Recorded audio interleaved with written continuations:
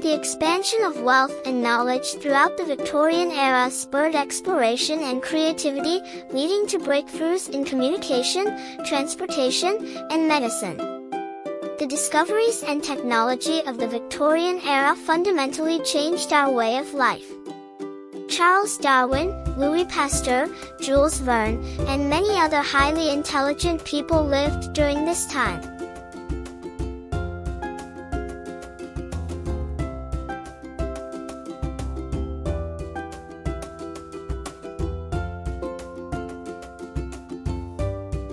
First train station in the city was London Euston.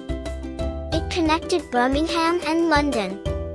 Wales and England were served by the trains as well. The railway served as the main means of transportation for both people and commodities during the Victorian era. It helped the Industrial Revolution as well.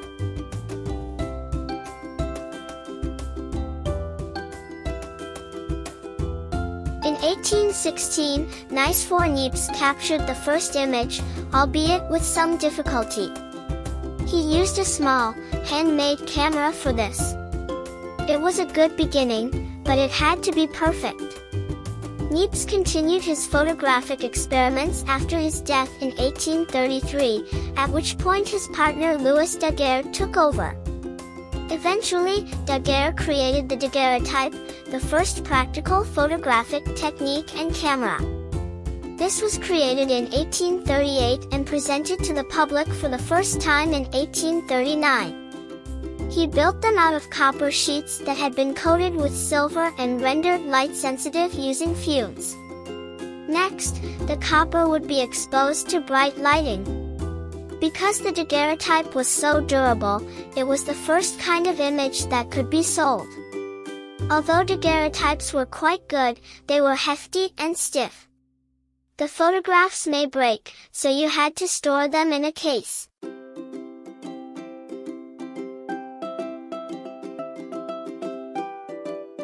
A tall post box on the street is called a pillar post box. People can deposit their outgoing mail at this site. The first pillar post boxes were erected in Guernsey in 1852. The early Victorian post boxes were green. London saw the installation of its first red post boxes in 1874, and it took more than 10 years to repaint the remaining boxes.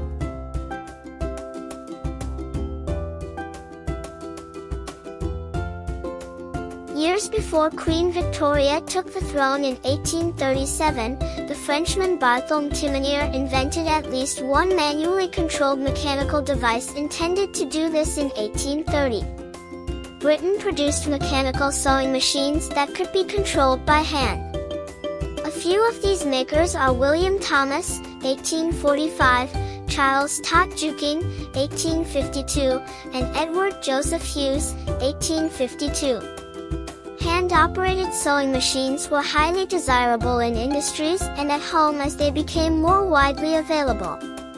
There was also one for Queen Victoria's eldest daughter. The most successful hand-operated sewing machine was created and marketed by American Mr. Isaac Merritt Singer. His mass production techniques yielded practical and efficient technology, and they also invented the hire purchase program, which allowed machines to be purchased on credit in readily payable installments. When Mr. Singer's Glasgow factory opened in 1867, he became the greatest sewing machine maker in the world. He then expanded into Britain.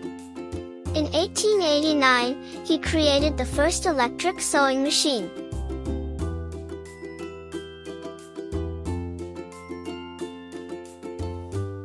The pneumatic tire, sometimes known as the aerial wheel, was invented in Scotland in 1845 by Robert William Thomson, but he didn't put them on his child's tricycle until 43 years later.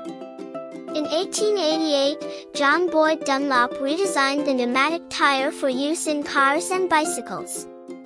The business is still producing rubber tires today.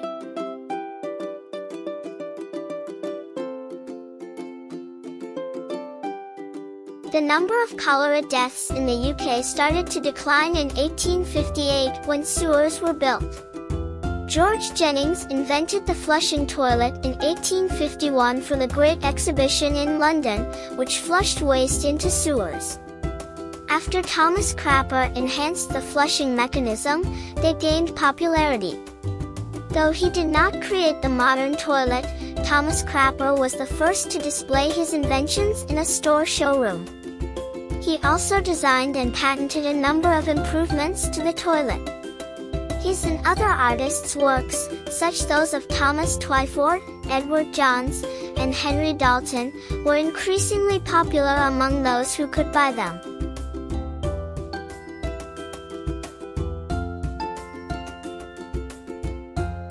First electronic message was sent over the Atlantic on July 16, 1858, between Queen Victoria and American President James Buchanan thanks to the establishment of telecommunication connections through an underwater cable at Osborne in 1852.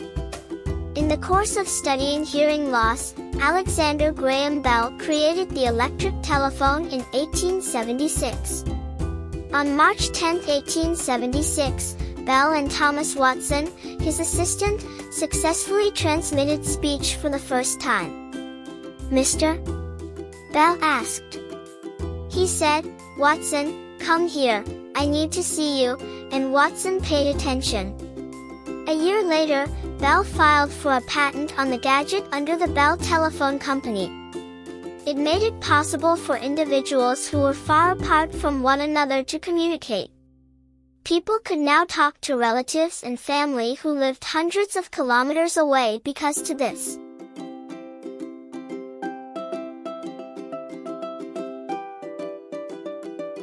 The first subterranean railroad in history began service in London's Paddington and Farringdon neighborhoods in 1863. The underground grew swiftly as part of a plan for a subterranean inner circle linking London's main line stations.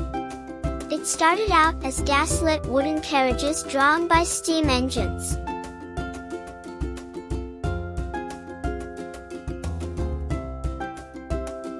In 1859, Etienne Lenoir, a French engineer, invented the first internal combustion engine. This gasoline engine could operate continuously and had an igniting system. The engine greatly impacted British industry by saving time and energy by replacing human and animal power. Shortly after, in 1876, German inventor Nicholas Otto produced the first four-stroke engine that ran on gasoline, diesel, and kerosene rather than coal. Carl Benz designed the world's first vehicle based on Otto's blueprint.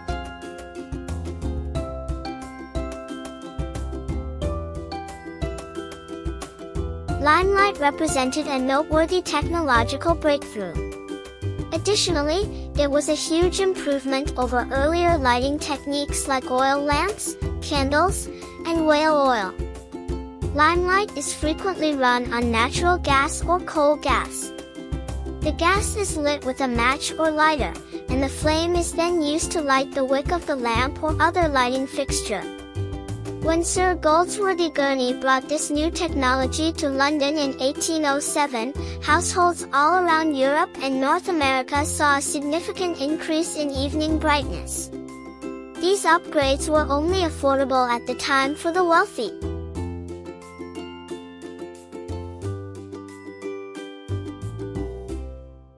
The penny farthing was the name of the original bicycle. James Starley created the first bicycle in 1859, including a penny-sized front wheel and a little back wheel that resembled a smaller farthing. Riding it was difficult, especially without brakes. When James Kemp Starley created a bicycle in 1885 using two smaller wheels that were linked and operated by a chain, the design was made simpler.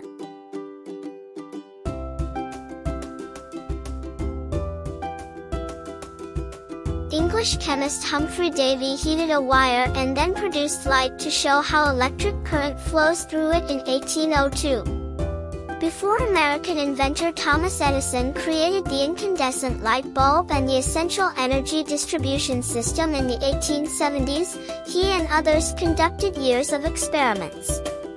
The architecture of buildings, the length of the workday, transportation, and economic prospects were all impacted by light bulbs. The majority of individuals in the 1890s would have encountered electric lights for the first time in public places like train stations. They wouldn't replace their gas mantles, oil lamps, or candles in their homes with electric light bulbs until far into the 20th century.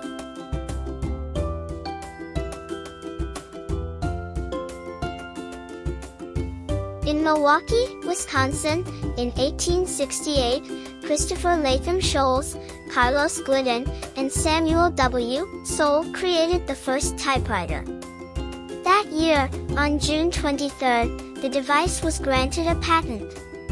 It consisted of a keyboard with some numbers and letters on it, but not all of the numbers. This technology made composing letters faster and easier by enabling individuals to type them rather than write them by hand. After Sholes' patent expired in 1883, the QWERTY keyboard layout became the industry standard for typing machines.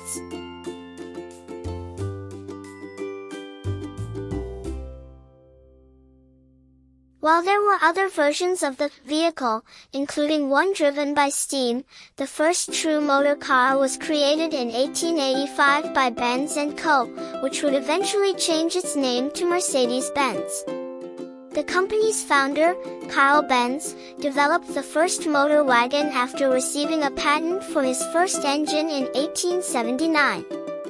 The invention was patented in 1886, and this was constructed in 1885. After that, they started an automobile campaign, and by 1893, they had sold 25 Benz and Co. vehicles. Development continued during the Victorian era, and the automobile rose to prominence as one of the most widely used forms of transportation globally.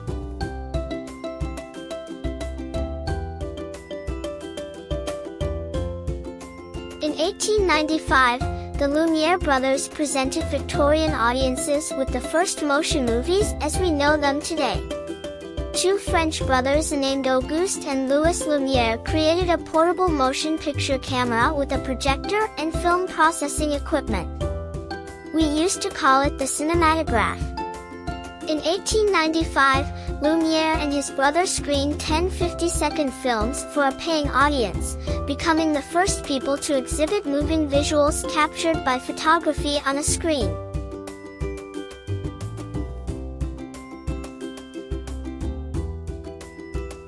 While working with cathode ray tubes in 1897, German physicist Wilhelm Röntgen discovered that when he turned on the equipment, a screen covered with black cardboard would glow.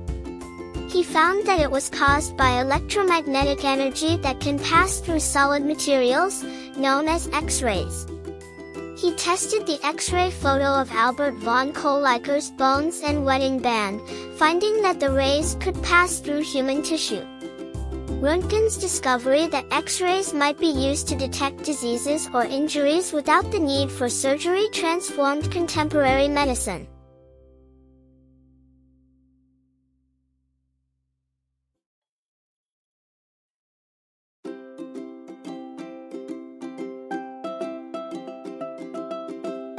Use of electricity was one of the most significant and fascinating discoveries made throughout the 19th century, a period of great innovation and discovery. Even though electricity was discovered in the late 1700s, its practical applications weren't realized until much later by innovators. In addition to using electricity to run devices like motors and lighting, inventors also utilized it to produce heat, which led to more discoveries on the nature of heat.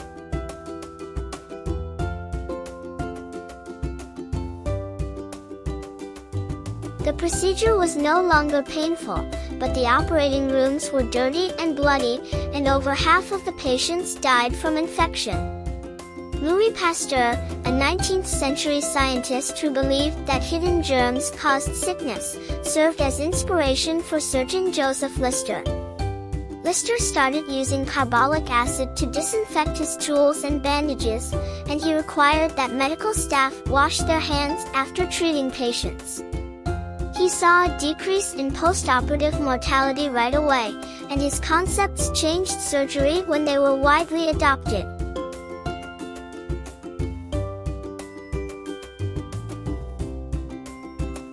A prosperous British man named Sir Henry Cole wanted to wish everyone he knew a Merry Christmas in 1843.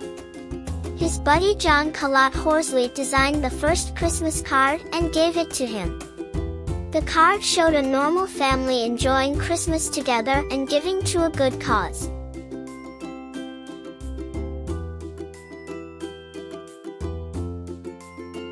The procedure was no longer painful, but the operating rooms were dirty and bloody, and over half of the patients died from infection.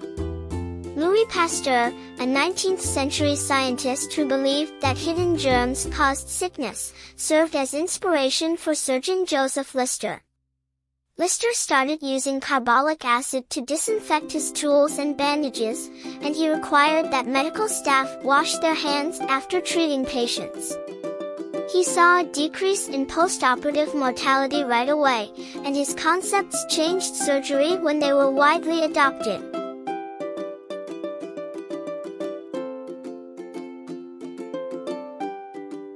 Quinine, which was first extracted from the cinchona tree's bark, fits between some cells' DNA strands to prevent malaria-affected cells from proliferating.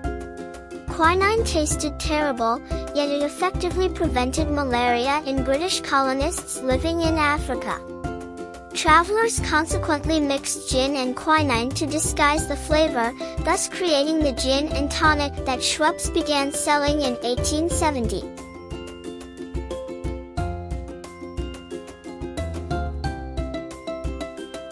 In 1895, Henri Becquerel, a French physicist, by inadvertently discovered radioactivity when he stored unexposed photographic plates in a drawer with materials that released radiation. He could see how the radiation affected the pictures.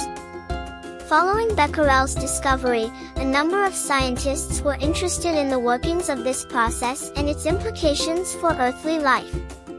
The radioactive elements polonium and radium were also discovered by Marie and Pierre Curie. Through his work with pitchblende, or uranium ore, Ernest Rutherford discovered that most radioactive elements had an atomic weight that corresponded to their activity level. When a mineral has many isotopes, it also has multiple nuclear weights. This phenomenon is referred to as isotopic abundance. Don't forget to like, share, and subscribe to our channel for more educational content.